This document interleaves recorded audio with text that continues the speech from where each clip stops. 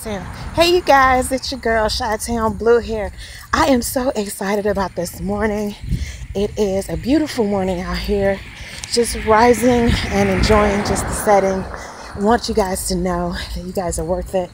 Anything that you guys are facing right now in life, understand and know that the haters are gonna come to try to steal you away from your purpose and your destiny. Don't allow them to. Whatever you do, know that mistakes happen and wrong choices are always going to be made. But if you set yourself up to surround your circle with positive energy, then you're going to make it. I'm still smiling at the end of the day. I have conquered cancer, as you guys know. On January the 12th, I was, if you're new to the channel, YouTube channel, I was diagnosed with having cancer it was a rare form. So what happened to me was that I um, was at home minding my own business and threw up four times. And right before I went to the hospital, I did my own uh, Google search of the symptoms and took that information in to the doctors ahead of time before the surgery. Always take ownership of your health. Don't give that over to someone else. Do the research. If you know that your body's not doing the right things, research that thing and find out, you know, what makes you tick. It'll help. And so I compared my notes to the doctors who only had a guess. They weren't really sure.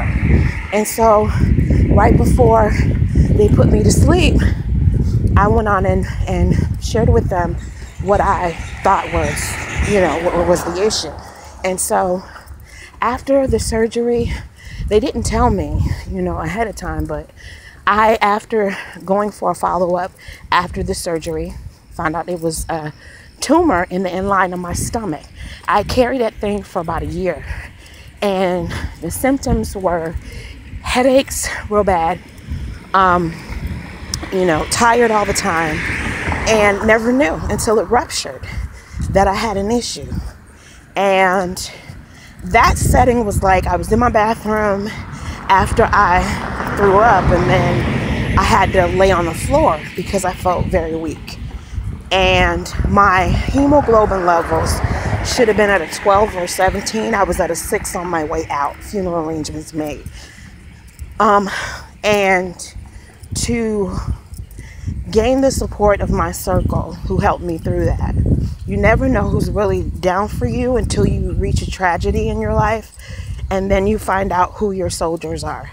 And I'm grateful for my crew because they were there for me when I needed them.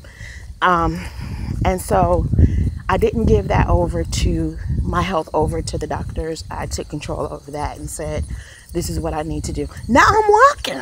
I'm walking. And so it's all about body maintenance and upkeep um, I do my walking in the morning while the weather's nice. Right now, I'm pushing myself to walk a hill. I have a hill, and I want to do that twice as often as I can to get around it. Every step that I make is a fight against cancer. So I want you guys to know that. Um, I want to talk to you guys about this voices movement. I've seen many dance movies around the years, and I wanted to do a dance movie that would celebrate the life and legacy of Michael Jackson, but come from a woman's perspective. So I fell in love with uh, the show on Disney called Shake It Up, Shake It Up Chicago, of course, um, that starred a little uh, Spitfire by the name of Zendaya, and I would love for her to uh, spearhead this project. I would love for her and Janet and Angela Bassett, all three of them, to go toe to toe. We just need to see that fire. Um, and I believe that she comes from a cool legacy, and at least that's what I see on TV and interviews and stuff like that. Um, but I really believe that through her body of work, she would solidify this project. It would be totally epic. Um, I would love for Janet to executive produce it. Um, in 2011, she signed a contract with Lionsgate to executive produce different projects. But I never heard anything. All I heard was about her music, which was real cool. So I would love her blessing on this project.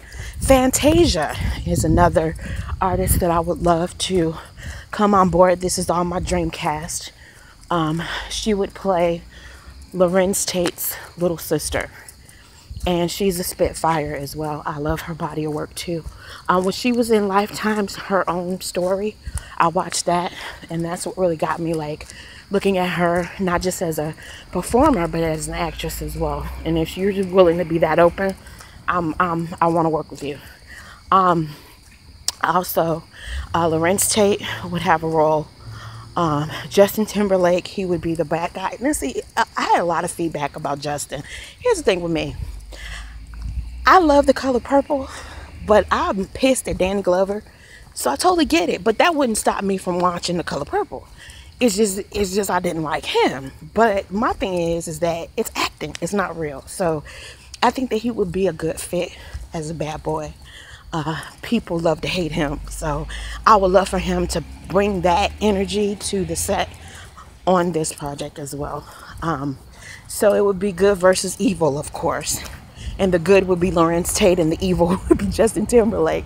I think that they would be a good match and fit for each other. Totally. Um, what happened was that there were a lot of stories, backstory about his voices movement. There were a lot of stories in Chicago, sometimes newspaper geared towards our young people passing away. And we never got the opportunity to really find out what these kids uh, dreams were or ambitions in life were, all we saw were the obituaries. And I wanted to take a story of a young lady who was fictitious, half fictitious, half true, um, and just give her life a meaning and have that same question what would your legacy say if, you know, things in your life didn't pan out the way that you may have wanted them to?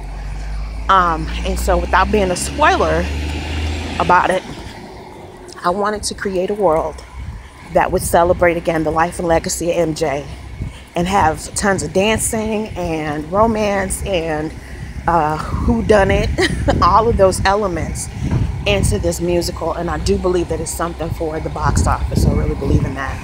Um, so just keep your fingers crossed for me.